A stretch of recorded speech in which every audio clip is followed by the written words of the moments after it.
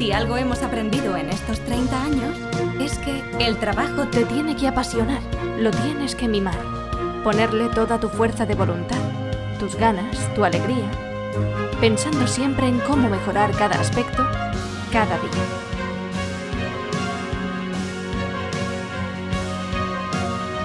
Por eso, también es crucial rodearse de un gran equipo de personas en quienes puedas confiar, con la ilusión y el deseo de que ese gran equipo